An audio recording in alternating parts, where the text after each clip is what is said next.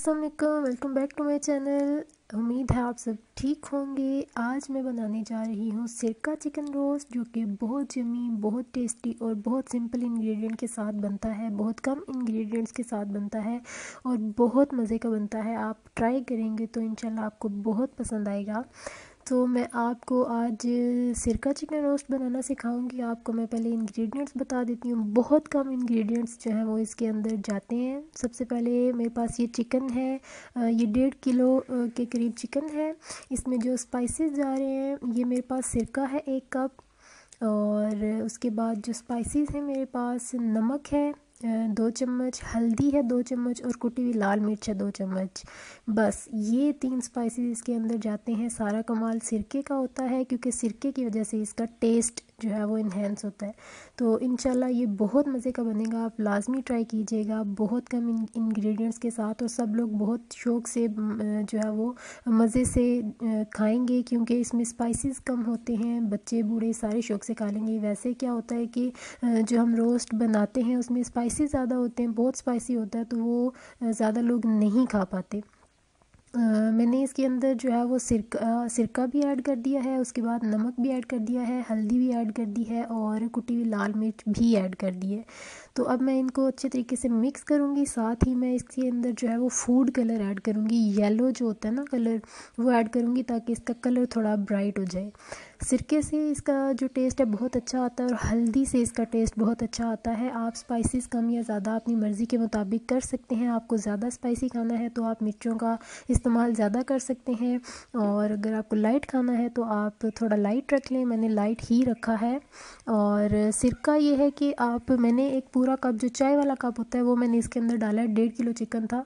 आप अगर kilo chicken है तो उसमें आधा कप डाल लें। अगर आधा किलो चिकन है तो उसमें थोड़ा सा और कम कर दें। यानी कि क्वांटिटी आपने खुद अपने हिसाब से देखनी है।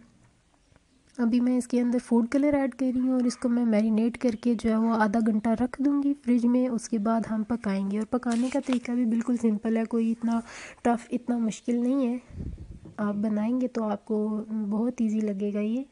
आ, ये मैंने इसके अंदर फ़ूड कलर ऐड कर दिया और अभी आप देख सकते हैं इसका कलर कितना ब्राइट हो गया। है ये देखें इसका कलर कितना ज़बरदस्त और ब्राइट सा हो गया है। मैंने थोड़ा कम डाला है आप ज़्यादा भी डाल सकते हैं। आधा घंटा मैंने इसको फ्रिज में रखा था, अभी मैंने इसको निकाल लिया है और मैंने इसको कढ़ाई के अंदर डाल दिया है। और आप देख लें, ये जो इसके नीचे पानी है ना, ये सिरका है, ठीक है, जो मैंने इसके अंदर ऐड किया था। और इसी सिरके में हमने इसको पकाना है हल्की आँच पे। आधे घंटे में ये तैयार हो जाता है। मैंने फ्लेम ऑन कर दी है और मैंने इसको जो है वो अब मैं मिक्स कर रही हूँ ताकि इसका कलर चेंज हो जाए और इसको मैं दम पे रख दूँगी तकरीबन दस मिनट तक, बिल्कुल लो फ्लेम पे। और जब ये थोड़ा सा गल जाएगा, इसमें थोड़ा सा पानी भी ऐड करूँगी, बहुत ज़्यादा नहीं, क्योंकि ये चिकन है और चिकन जल्दी गल जाता है। और जब सिरका हम इसमें डालते हैं तो फिर ये और ज़्यादा जल्दी गलता है। तो मैं थोड़ा सा पानी इसके अंदर ऐड करूँगी और इसको दम पर रख दूँगी। फिर जब हम देखेंगे कि ये थोड़ा सा गल चुका है तो हम फ्लेम ज़रा ज़्यादा कर देंगे और सही से इसको गलाने के बाद आप बाकी प्रोसेस देखिएगा कि मैं कैसे इसको पकाती हूँ। तो अभी मैंने इसको मिक्स किया है। और ये देखें मैंने बिल्कुल मामूली सा पानी इसके अंदर ऐड किया क्योंकि इसके अंदर पहले भी काफ़ी पानी है। वो जो सिरका मैंने इसके अंदर एक कप ऐड किया है। तो अभी मैं इसको कवर करके रख दूँगी तकरीबन दस मिनट के लिए। और उसके बाद हम देखेंगे कि ये कितना सा गला है। अच्छा जी, दस मिनट हो चुके हैं और मैंने इसको ढक्कन को उठाया है और अभी मैं दोबारा मिक्स कर रही हूँ। अभी आप देखें कितना ज़्यादा पानी इसके अंदर हो गया है, क्योंकि फ्रिज में जब हम रखते हैं ना इसको तो फिर ये काफ़ी ज़्यादा पानी छोड़ देता है। तो अभी मैंने फ्लेम को थोड़ा सा ज़्यादा किया था। और क्योंकि अभी चिकन बहुत ज़्यादा गला नहीं है तो मैंने थोड़ी ज़्यादा कर दी है फ्लेम ताकि पानी जल्दी खुश्क हो जाए। और तकरीबन दस मिनट तक मैंने ऐसे ही रखा था। अभी मैंने फ्लेम ज़रा और ज़्यादा कर दी है। क्योंकि दस मिनट मज़ीद गुजर चुके थे तो मैंने जो है वो तकरीबन चिकन हमारा गल चुका था। अब मैंने क्या किया है, इसके अंदर दो चम्मच घी ऐड किया है और इस घी के अंदर हम इसको पकाएँगे। अब पकाने का प्रोसेस क्या है कि आपने बस भूनना है इसको। और नमक मिर्च अब चेक कर लें, अगर कम है तो थोड़ी ज़्यादा आप डाल सकते हैं नमक। मिर्च अगर आपको कम लग रही है तो वो भी आप एक्स्ट्रा ऐड कर सकते हैं।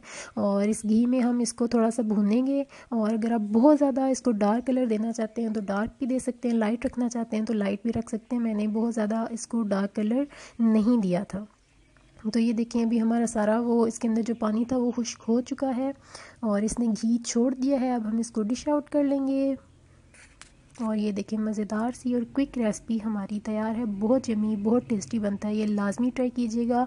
रेसिपी कैसी लगी आपको? मुझे लाजमी कमेंट्स में बताइएगा और मेरी वीडियो को लाइक करना मत भूलिएगा। और जिन लोगों ने मेरे चैनल को अभी तक सब्सक्राइब नहीं किया, लाजमी मेरे चैनल को सब्सक्राइब करें। Thank you so much and अल्लाह हाफिज़